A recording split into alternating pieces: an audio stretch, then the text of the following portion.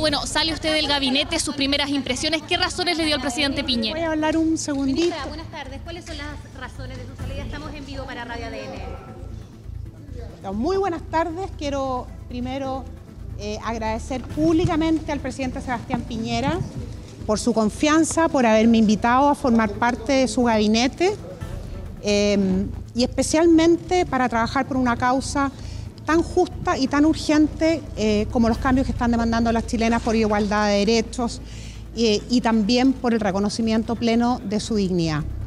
Eh, lo hemos dicho varias veces, lo dijo el presidente eh, el domingo pasado, el 8 de marzo, Chile tiene una deuda todavía pendiente con las chilenas. Y en estos años, eh, y en estos años avanzamos, dimos pasos sustantivos muy importantes para cortar brechas, eh, promulgamos cuatro nuevas leyes eh, y estamos seguras que más temprano que tarde esos cambios eh, que ya están en marcha, ¿verdad?, van a incidir en la calidad de vida de las chilenas. Último minuto.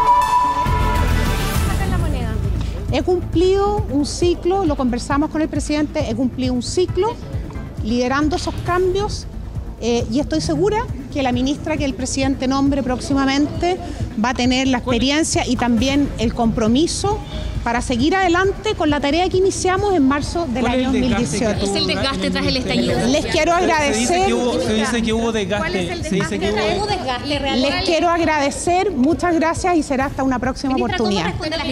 la? Bien, hasta ahí entonces la ahora ex ministra de la Mujer y Equidad de Género, Isabel Pla, se fue hace pocos instantes también Carolina Cuevas, que asume como ministra subrogante. Ella ocupaba la subsecretaría del Ministerio de la Mujer y la ministra subrogante se sin entregar declaraciones del Palacio de la Moneda.